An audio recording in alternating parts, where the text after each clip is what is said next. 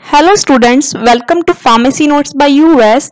Today we discuss the most important MCQs which is mostly asked in pharmacist and GPIT type of examination. So let's start. देखेंगे कुछ most important MCQ जो mostly competition exams में पूछे जाते हैं तो पहले मैं चाहूँगी कि इन्हें आप सॉल्व करें फिर मैं इन सबके आंसर डिस्कस करूँगी so start first question is there are dash type of incompatibilities यानी कि कितने तरीके की इनकम्पेटिबिलिटीज होती हैं?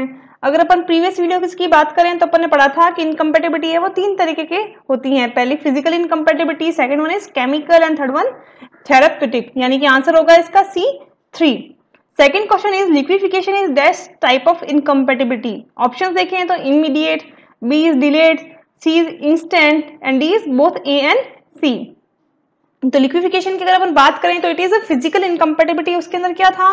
कि जैसे ही आप दो प्रोडक्ट को आपस में मिलाते हैं तो उनका जो मेल्टिंग पॉइंट है, वो रूम टेम्परेचर पे पहुँच रहा था और वो सीधे के सीधे लिक्विफाई हो रहे थे सॉलिड प्रोडक्ट्स यानी कि जैसे ही आपने मिक्स किया, तुरंत वो है जो लिक्विफाई हो गए। तो यानी कि इमीडिएट भी हुआ और इंस्टेंट भी हुआ। तो इसका आंसर होगा option D both A and C question number third is crystallization is dash type of incompatibility अब क्रिस्टलाइजेशन की बात करें, जैसे कि सपोज़ आपने कोई सिरप बनाया आफ्टर टाइम आप देखते हैं कि जैसे आपने तीन या चार बार वो सिरप लिया सपोज़ वो कफ सिरप है तो उसके साइड में कुछ क्रिस्टल जम जाते हैं शुगर के शुगर का क्रिस्टलाइजेशन हो जाता है।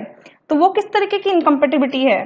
तो ऑब्वियस है, वो तुरंत नहीं होती है, जैसे जिस तरीके से आप उसको रीओपन एंड रीक्लोज करते हो बार बार तब जाके वो क्रिस्टल से उसका फॉर्मेशन होना शुरू होता है। तो it is a delayed incompatibility तो ऑप्शन होगा आंसर इसका होगा answer B delayed question number fourth is physical change में ऑलमोस्ट बी यानी कि जो फ़िज़िकल चेंज है, उनमें से, इनमें से क्या रहता है mostly they are visible they are invisible clear और टर्बिड तो अगर अपन इनकम्पेटिबिलिटीज के अंदर बात करें तो फ़िज़िकल इनकम्पेटिबिलिटी के अंदर पढ़ा था अपन ने कि इसको अपन देख सकते हैं they are visible in nature तो आंसर इसका होगा विजिबल जैसे कि अपन ने बात की थी इमिसिबिलिटी की. जैसे आपने ऑयल एंड वाटर आपस में मिक्स किया तो क्या होगा? वो आपको विजिबल होंगे. ऑयल सेपरेट है और वाटर सेपरेट है. तो आंसर इसका होगा A visible question number fifth is, compatibility may be corrected by changing the order of mixing. तो which type of thing is that यानी कि जो कंपेटिबिलिटी है, वो अपन चेंज कर सकते हैं इनकम्पेटिबल से कंपेटिबल बना सकते हैं। अगर अपन इसका ऑर्डर ऑफ़ मिक्सिंग चेंज कर दें तो या जो मिक्स कर रहे हैं, उसका ऑर्डर अपन चेंज कर दें तो वो किस तरीके की कंपेटिबिलिटी है? तो अपन ने पढ़ा था दो तरीके की, इस तरीके की कि एक तो होती है इनटॉलेटेड और होती है टॉलेटेड टॉलेटेड के अंदर तो था कि अगर आप मेथड चेंज कर दो, मिक्सिंग का प्रोसीजर चेंज कर दो तो जो इनकम्पेटिबल है वो कंपेटिबल कंपाउंड में कन्वर्ट किया जा सकता है।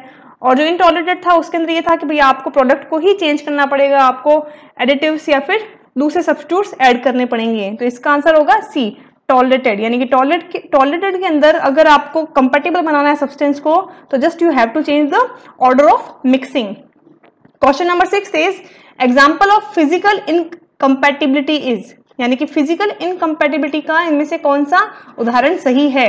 ऑप्शन की बात करें A is acid plus alkali B is castor plus water C is alkaloid plus acid and is magnesium hydroxide plus acid तो बाकी अगर अपन सारे बात करें तो they are chemically incompatibilities well B is castor plus water is physical incompatibility जिसमें भी ये एग्ज़ाम्पल है इमिसिबिलिटी का, यानी कि जब वाटर और ऑयल मिलेगा तो ऑब्वियस वो विजिबली सेपरेट हो जाएँगे। It is an example of immiscibility physical incompatibility seventh number is when two और more ingredient prescribe which are antagonistic in nature and undesirable product is formed, which may affect the safety, purpose or appearance of the preparation is called as यानी कि question ये कह रहा है कि जैसे आप दो प्रोडक्ट्स को मिलाते हो तो वो जो प्रोडक्ट है, वो अनडिजायरेबल प्रोडक्ट्स के अंदर कन्वर्ट हो जाता है। या फिर जो ड्रग है या जो प्रोडक्ट आपने बनाया है, उसकी सेफ्टी उसका पर्पज या उसकी अपीयरेंस के साथ कॉम्प्रोमाइज करता है तो उसे अपन क्या कहेंगे?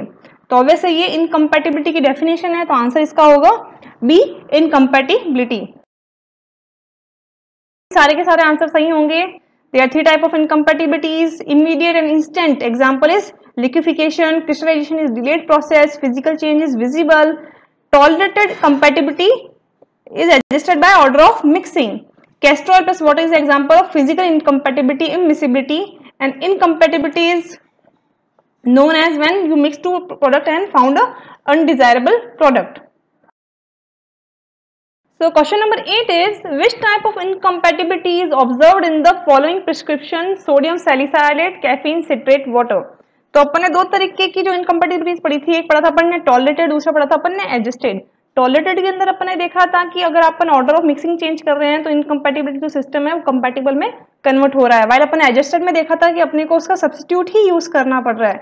तो जो सोडियम सेलिसलाइट कैफिन सेट्रेट है, वहाँ पे अपन इसको इसलिए यूज़ कर रहे हैं ताकि वो जो प्रीवियस प्रोडक्ट था, वो सॉल्यूबल नहीं था। तो ये सॉल्ट यूज़ करने पर जो सिस्टम है, वो अब सॉल्यूबल हो रहा है। यानी कि अपने को सब्सटेंस को ही चेंज करना पड़ा। तो आंसर होगा इसका adjusted chemical incompatibility question number nine is example of incompatibility due to chemical reaction यानी कि इनमें से कौन सा एग्ज़ाम्पल सही है जो केमिकल रिएक्शन या केमिकल इनकम्पेटिबिलिटी शो कर रहा है? ऑप्शन देखें अपन potassium iodide plus emetine sodium chloride plus potassium chloride C is atropine plus acetyl choline D is resinous tincture plus water तो अगर आपको याद है, मैंने आपको केमिकल इनकम्पेटिबिलिटी में पढ़ाया था कि when iodides with sodium salt मिलते हैं तो प्रेसिपिटेशन फॉर्म होता है। तो वहाँ पे क्या था? अमेटिन एंड पोटेशियम आयोडाइड का एग्ज़ाम्पल था एज एक्सपेक्टर एंड जो कप प्रोडक्ट्स में यूज़ हो रहा था तो आंसर इसका होगा A potassium iodide plus emetine जहाँ पे ये जो सॉल्युबल आयोडाइड्स हैं अमेटिन या फिर एल्कलोइड सॉल्ट के साथ मिलकर प्रेसिपिटेट का फॉर्मेशन करते हैं।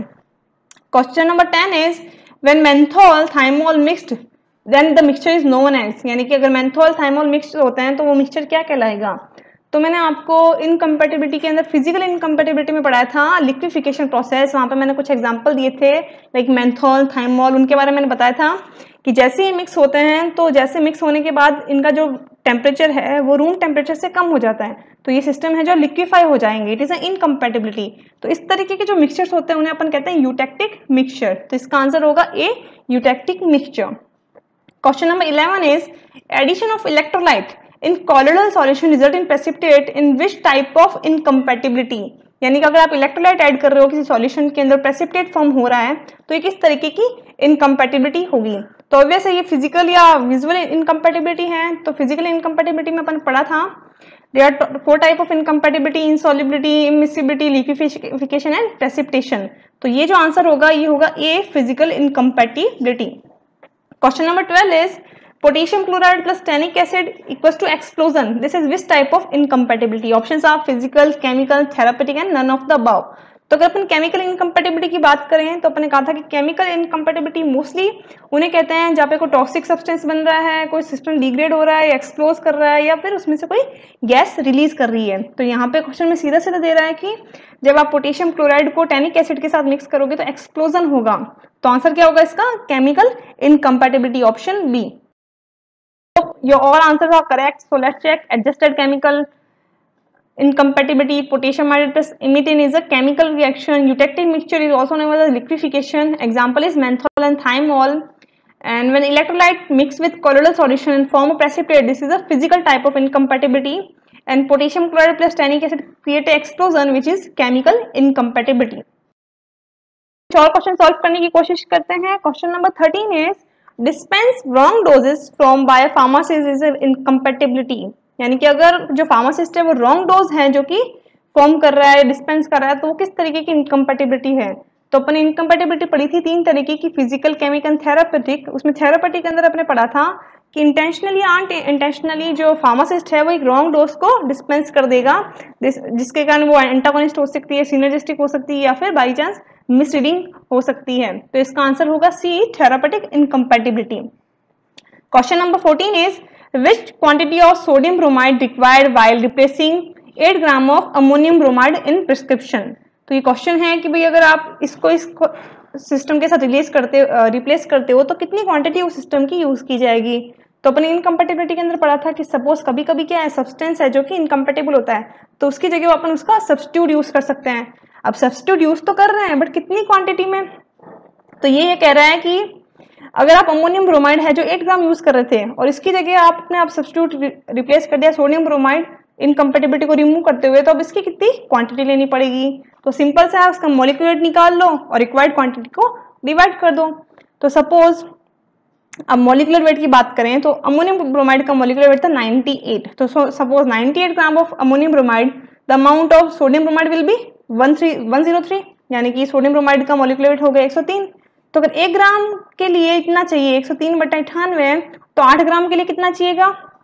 103 zero three upon ninety eight तो जैसे आप इसे कैलकुलेट करोगे तो आपके पास आएगा 8.4 यानी कि now you need sodium bromide 8.4 gram by replacing 8 gram of ammonium bromide here is the answer B question number 15 is antacid prescribe with tetracycline is which type of incompatibility अब ऑब्वियस से अपने को पता है कि जो टेट्रासाइक्लिन मेडिसिन है it is an antibiotic और उसके साथ अपने को एंटासिड या मिल्क नहीं लेना चाहिए। क्यों?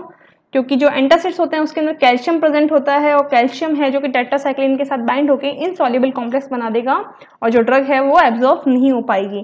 तो ये किस तरीके की इनकम्पेटेबिलिटी होगी केमिकल टाइप ऑफ़ इनकम्पेटेबिलिटी तो answer is B question number 16 is carbowax and phenol form complex is dash type of incompatibility अब जैसे ही कार्बोवैक्स और फिनॉल आपस में मिलते हैं तो एक विजिकल विजिबल कॉम्प्लेक्स क्रिएट होता है और ये होती है फ़िज़िकल इनकम्पेटेबिलिटी तो इसका आंसर होगा A it is a physical type of incompatibility question number seventeen is resin in alcohol plus water precipitate it is which type of incompatibility यानी कि रेजिन अगर एल्कोहल है और उसके अंदर आप पानी ऐड करें तो प्रेसिपिटेट फॉर्म होता है। ये किस तरीके की इनकम्पेटेबिलिटी है ऑप्शन है physical chemical therapeutic and none of the above तो ऑब्वियस है या तो फ़िज़िकल हो गया केमिकल हो गया थेरापेटिक और नन ऑफ़ द अबाउ तो ऑप्शन है नहीं। और फ़िज़िकल के अंदर आप अगर देखें तो आपको याद होगा कि एक ऑप्शन था प्रेसिपिटेट टाइप ऑफ़ इनकम्पेटेबिलिटी जहाँ पे प्रेसिपिटेट फॉर्म होता है। रीजन क्या होता है? ड्यू टू सॉलिबिलिटी डिस्टर्बेंस तो आंसर इसका होगा A physical incompatibility the answer therapeutic 8.4 chemical incompatibility, physical incompatibility, and physical incompatibility. I hope all your answers are also correct. Like share and subscribe. Thank you